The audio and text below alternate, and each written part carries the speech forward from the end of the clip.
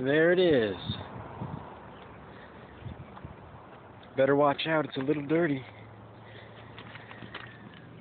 Oh man. But that's not good exhaust at all, guys. I don't know what I'm talking about. Yep, those are 16s, by the way. P45s on the front, 55s on the back. Oh, look at that horrible paint job, though.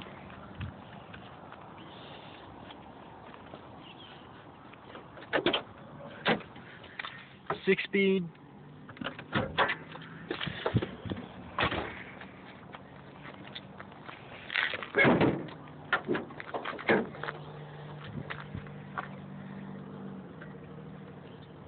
Completely redone. Like to see your piece of shits do that.